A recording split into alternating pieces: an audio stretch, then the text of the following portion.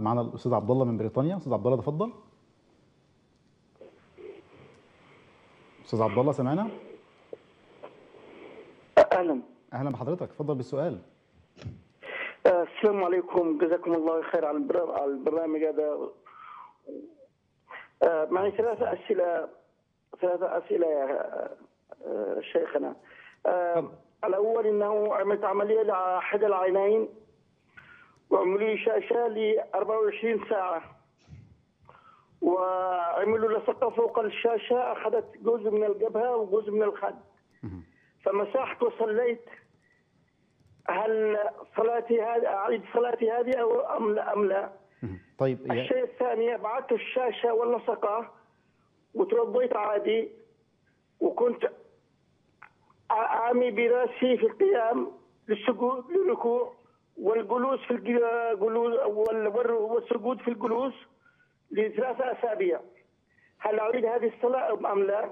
طيب أستاذ عبد الله أستاذ عبد الله معلش آه، خليك معانا عشان بس ننقل سؤال سؤال للشيخ حتى يعني لا يختلط علينا الأمر آه، مولانا السؤال الأول عن الأخ عبد الله عمل عملية في عينيه وجزء من وجهه والجبهة يعني مغطى بالشاش وكده فهو مسح على آه، هذا على وجهه في أثناء الوضوء فهل يجوز هذا الأمر أم لا؟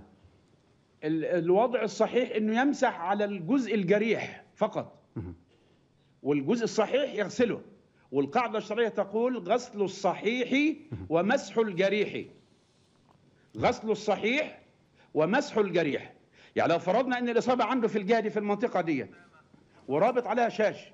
الجهة دي غير مربوط عليها شاش ما لهاش علاقة بها يبقى هذه المنطقة اللي الصحيحة تغسل والجهة اللي فيها الجرح هذه تمسح عليها. القاعدة تقولها أعيد مرة ثالثة غسل الصحيح ومسح الجريح. نعم. وبعدين برضو ولكن لابد من أن يكون الرباط عندما تم رباطه يكون تم على طهارة. تم على طهارة وهذا يسمى العلماء المسح على الجبيرة أو المسح على ال- ال- العضو المصاب يعني. نعم. نعم. طب مولانا السؤال الثاني الاخ عبد الله عن مسألة كيفية الصلاة بهذا الشكل يعني في مسألة السجود والركوع وما إلى ذلك يعني لو كان يصعب مثلا السجود أو شيء. إذا طبيبه المختص المعالج له المشرف على علاجه أفاده بأن ركوعه وانحناؤه وكذلك نزوله ساجدا سبحانه وتعالى هذا يضر به بعصب العين أو يضر بالجرح. فبالتالي الحديث الصحيح اللي أوصى فيه الرسول عليه الصلاة والسلام سيدنا عمر بن حسين قال صل قائما فإن لم تستطع فقاعدا فإن لم تستطع فصل مضطجعا فإن لم تستطع فأومئ.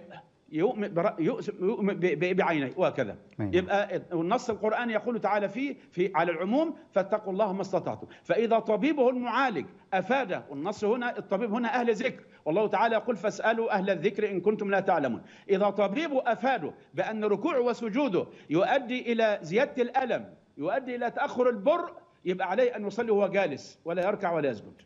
أما إذا كان لا يزيد الألم ولا يؤخر البر فيصلي على قدر ما يستطيع إن شاء الله سبحانه وتعالى. إن شاء الله. جزاك الله خير يصلي مولانا. تماما راكعا ساجدا. نعم. نعم طيب. أستاذ عبد الله سؤالك الثالث لو في أسئلة أخرى؟ أخ عبد الله سمعنا؟ هل هل هل هل تعيد الصلاة أو لا تعيد؟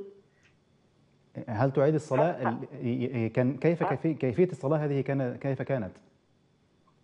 الصلاة اللي صليتها كما قال الشيخ هل أعيدها أم لا أعيدها؟ طيب مولانا هو يعني صلى صلاة يعني كما تقول وبيقول إن هو هل الصلاة السابقة هذه يعيدها أم لا خلاص ما دام صلى كما قلت يبقى صلاة صحيحة يبقى في إعادة ليه؟ إحنا قلنا دلوقتي ال- القاعدة في ده بالنسبة للطهارة بالنسبة نعم. للطهارة غسل الصحيح ومس الجريح.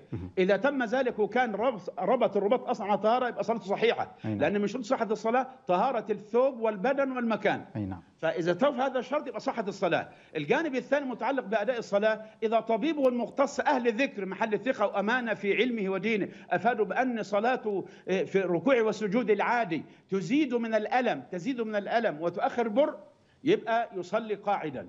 لا تزيد الألم ولا تؤخر بر يبقى ي- ي- يصلي تام يصلي ك- ك- كالصلاة العادية يركع ويسجد إن شاء الله سبحانه وتعالى. صلى كما نقول هكذا بناء على مشروط الطبيب والطب أهل الذكر يبقى صلاة صحيحة لا بأس به إن شاء الله سبحانه وتعالى. إن شاء الله. جزاك الله خير مولانا. عبد الله هل في أسئلة أخرى ولا خلاص؟ في السؤال الأخير السؤال الأخير جزاكم الله خيرا. أي نعم. آه لبست ال- الشراب لبست الشراب والخوف. أي نعم. ومسحت على الخوف. وبعدين بدا لي أنا أبعد الخوف. هل أستطيع أمسح على ال- الشراب وأستمر في المسح؟ أم لا؟ طيب ماشي تمام. جزاكم الله خيرا. جزاك الله خيرا. السؤال الثالث مولانا الأخ عبد الله هو مسح على الخف وبعد ذلك أثناء الص- الصلاة يريد أن يصلي بالشراب وليس بالخف فهل يجوز له إن هو يمسح فقط ويصلي ولا ماذا يفعل؟ هو دلوقتي ل- عفوا لل- للصلاه بالخف أو المسح الخفين إن هو اول أول شرط يلبسه على طهارة. هذا أول شرط. اثنين أن يكون الخف ساترا لمحل غسل الفرد من القدمين. يعني المنطقة اللي تغسل المنطقة اللي تغسل في في القدم اللي هي إلى الكعبين وارجلكم إلى الكعبين دي تكون مستورة بالخفين آه، إذا لبسوا على طهارة وساتر محل ساتر لمحل الغسل وبالتالي إذا كان مقيما إذا كان مقيما له الحق أن يمسح عليه يوم بليلة. إذا كان مسافرا بباب التخفيف يمسح عليه ثلاث أيام بلياليه هي- هي- هيخلع الخف يبقى بالتالي يتوضأ. لأنه دلوقتي هو لما مسح على لما مسح على الخف كده بذلك اكتملت طهارته. لو أنه مسح لو أنه نزع الخف وهو كان لابسه على طهاره يصلي لكن لو انتقد وضوءه لكي يصلي لابد له من أن يتوضأ من جديد وبالتالي لا يصح له أن يخلع الخف اللي هو إيه اللي هو اللي هو تطهر عليه وهو يتوضأ للصلاة. أي نعم. طب مولانا في هذه النقطة تحديدا آه، آه، لو شخص ما يعني أصيب مثلا لا قدر الله في حادث ولم يكن طاهرا ثم يعني استيقظ في المستشفى مثلا ورجله اتجبست فالآن يمسح على هذه الجبيرة رغم أنه لم يكن متوضئا قبل ذلك ولا ماذا يفعل؟ والله عفوا الحديث الصحيح يقول فيه الرسول عليه الصلاة والسلام من يريد الله به خيرا يفقهه في أي الدين نعم. لو أنه المسلم يعني منتبه لهذه الأمور ومنتبه لعبادته ومنتبه لتدينه لما يكون مثل هذه الصورة حتى لو حتى لو أنه تم عمل الجبيرة وهو يعني في في أثناء الألم أو في غيبوبة يعني أعطوه بنج بحيث لا يشعر وبعدين انتبه إذا دخل عليه وقت الصلاة والنص يقول في النساء إن الصلاة كانت عملنا كتابا موقوتا يبقى يشوف يبقى في دي هو آه، يطلب منهم تغيير الجبيرة بحيث إن هو يتوضأ ويمسح يتوضأ ويلبس وتقام عمل جبيره له على طهارة وبالتالي بعد ذلك يمسح يمسح على هذه الجبيرة إن شاء الله تعالى القاعدة يغسل الصحيح ويمسح على الجريح إن شاء الله سبحانه لكن مولانا لو لو كان الأمر صعب يعني مثلا عملية وشيء وإن هو يغير الجبيرة ده أمر صعب جدا يعني ماذا يفعل؟ خلاص أمر صعب فاتقوا الله ما استطعتم نعم. يعني عفوا القاعدة الشرعية المشقة تجلب التيسير المشقة تجلب التيسير. في صعوبة في مشقة في ضرر يبقى بالتالي ممكن يستدرك الأمر بعد ذلك إن شاء الله سبحانه وتعالى.